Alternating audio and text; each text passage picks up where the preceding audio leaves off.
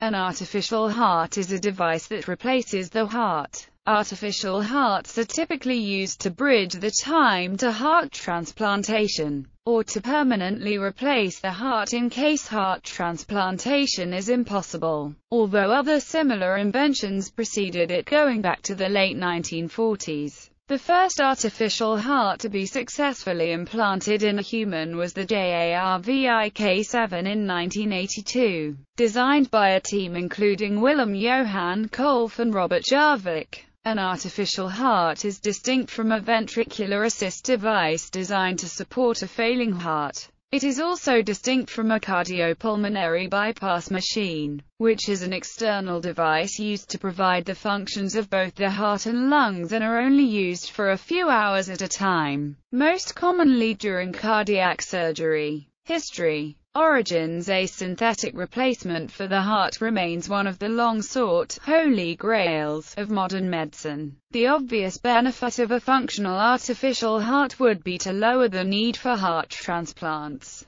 because the demand for organs always greatly exceeds supply. Although the heart is conceptually a pump, it embodies subtleties that defy straightforward emulation with synthetic materials and power supplies. Consequences of these issues include severe foreign body rejection and external batteries that limit mobility. These complications limited the lifespan of early human recipients to hours or days. Early development The first artificial heart was made by Vladimir Demikhov in 1937. It was transplanted to a dog. Although Jarvik created the idea and rough draft for the artificial heart, his models were not created of a material that the human body would accept. Dayton, Ohio's Ivano, Salia, along with various colleagues, developed a polymer material that the human body would not necessarily reject. On July 3, 1952, 41-year-old Henry Opitek, suffering from shortness of breath, made medical history at Harper University Hospital at Wayne State University in Michigan. The Dodrill GMR heart machine, considered to be the first operational mechanical heart, was successfully used while performing heart surgery. Forrest Dewey Dodrill, working closely with Matthew Dudley,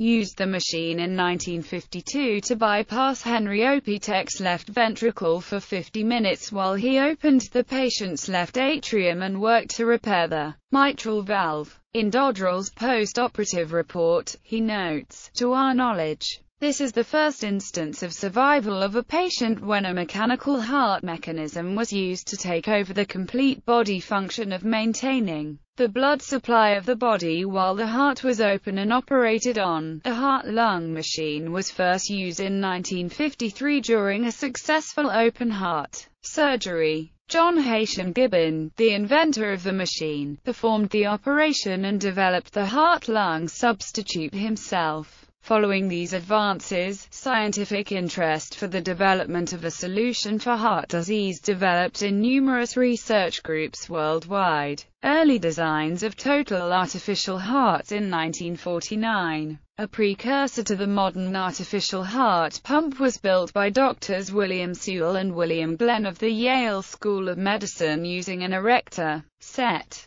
assorted odds and ends, and dime store toys. The external pump successfully bypassed the heart of a dog for more than an hour. Paul Winchell invented an artificial heart with the assistance of Henry Heimlich and held the first patent for such a device. The university requested that Winchell donate the heart to the University of Utah, which he did. There is some debate as to how much of Winchell's design Robert Jarvik used in creating Jarvik's artificial heart. Heimlich states, I saw the heart, I saw the patent and I saw the letters. The basic principle used in Winchell's heart and Jarvik's heart is exactly the same. Jarvik denies that any of Winchell's design elements were incorporated into the device he fabricated for humans which was successfully implanted into Barney Clark in 1982. On December 12, 1957, Willem Johan Kolff, the world's most prolific inventor of artificial organs, implanted an artificial heart into a dog at Cleveland Clinic. The dog lived for 90 minutes. In 1958, Domingo Liotta initiated the studies of heart replacement at Lyon, France, and in 1959-60 at the National University of Córdoba, Argentina. He presented his work at the meeting of the American Society for Artificial Internal Organs held in Atlantic City in March 1961. At that meeting, Liotta described the implantation of three types of orthotopic TAHs in dogs, each of which used a different source of external energy an implantable electric motor, an implantable rotating pump with an external electric motor, and a pneumatic pump. In 1964, the National Institutes of Health started the Artificial Heart Program, with the goal of putting a man-made heart into a human by the end of the decade. In February 1966, Adrian Kantrowitz rose to international prominence when he performed the world's first permanent implantation of a partial mechanical heart at Maimonides Medical Center. In 1967, Kolff left Cleveland Clinic to start the Division of Artificial Organs at the University of Utah and pursue his work on the artificial heart. In 1973, a calf named Tony survived for 30 days on an early Kolff heart. In 1975, a bull named Burke survived 90 days on the artificial heart. In 1976, a calf named Aber lived for 184 days on the Jarvik 5 artificial heart.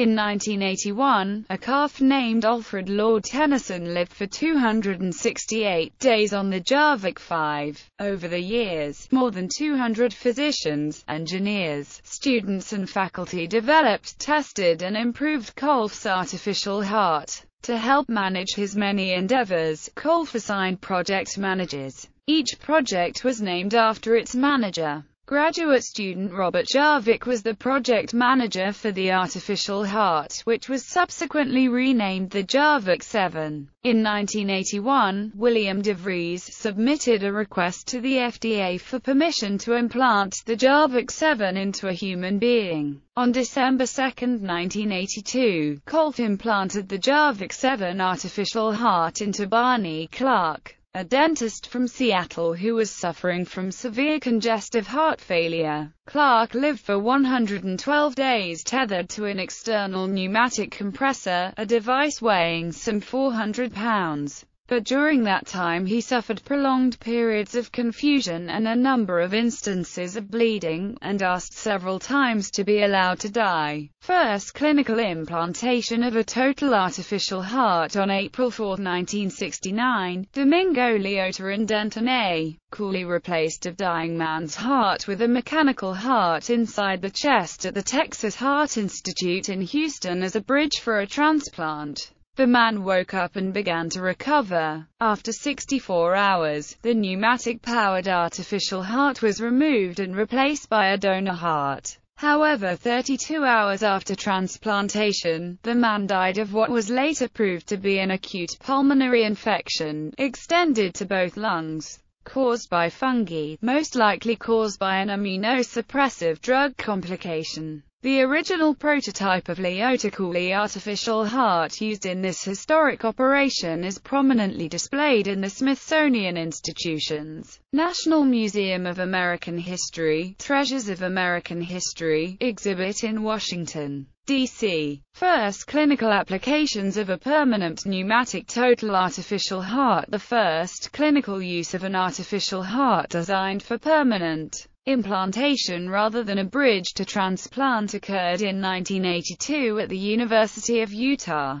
Artificial kidney pioneer Willem Johan Kolff started the Utah Artificial Organs Program in 1967. There, physician-engineer Clifford Kwan-Gett invented two components of an integrated pneumatic artificial heart system, a ventricle with hemispherical diaphragms that did not crush red blood cells and an external heart driver that inherently regulated blood flow, without needing complex control systems. Independently, Paul Winchell designed and patented a similarly shaped ventricle and donated the patent to the Utah program. Throughout the 1970s and early 1980s, Veterinarian Donald Olson led a series of calf experiments that refined the artificial heart and its surgical care. During that time, as a student at the University of Utah, Robert Jarvik combined several modifications an ovoid shape to fit inside the human chest, a more blood-compatible polyurethane developed by biomedical engineer Donald Lyman, and a fabrication method by Kwan-Gett that made the inside of the ventricle smooth and seamless to reduce dangerous stroke-causing blood clots. On December 2, 1982, William DeVries implanted the artificial heart into retired dentist Barney Bailey Clark, who survived 112 days with the device, dying on March 23,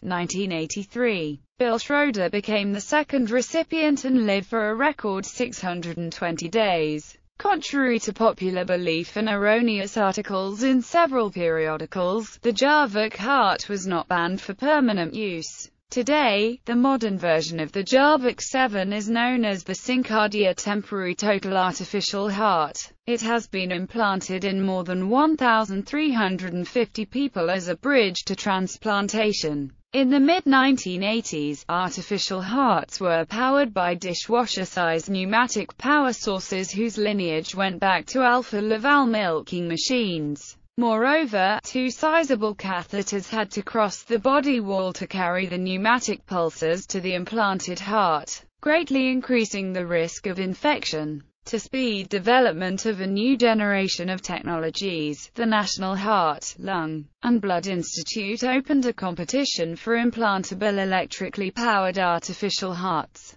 Three groups received funding. Cleveland Clinic in Cleveland, Ohio, the College of Medicine of Pennsylvania State University in Hershey, Pennsylvania, and ABM, Inc. of Danvers, Massachusetts. Despite considerable progress, the Cleveland program was discontinued after the first five years. Polymeric tri-leaflet valves ensure unidirectional blood flow with a low pressure gradient and good longevity. State-of-the-art transcutaneous energy transfer eliminates the need for electric wires crossing the chest wall. First clinical application of an intrathoracic pump on July 19, 1963. Stanley Crawford and Domingo Liotta implanted the first clinical left ventricular assist device at the Methodist Hospital in Houston, Texas, in a patient who had a cardiac arrest after surgery. The patient survived for four days under mechanical support but did not recover from the complications of the cardiac arrest. Finally, the pump was discontinued, and the patient died. First clinical application of a paracorporeal pump on April 21, 1966. Michael DeBakey and Liotta implanted the first clinical LVAD in a paracorporeal position at the Methodist Hospital in Houston, in a patient experiencing cardiogenic shock after heart surgery. The patient developed neurological and pulmonary complications and died after a few days of LVAD mechanical support. In October 1966, DeBakey and Liotta implanted the paracorporeal Liotta DeBakey LVAD in a new patient who recovered well and was discharged from the hospital after 10 days of mechanical support thus constituting the first successful use of an LVAD for post-cardiotomy shock.